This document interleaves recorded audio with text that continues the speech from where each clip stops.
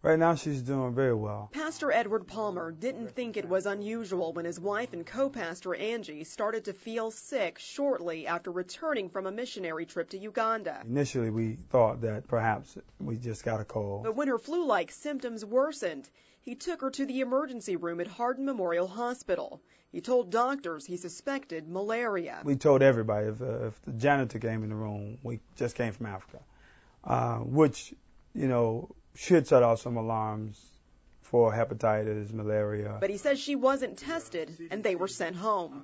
Two days later, Angie collapsed and she was taken to the emergency room again. Her condition was grave. She was transferred to Lexington's UK hospital. When we got here, it was very easy. We've been to Africa. I think she might have malaria.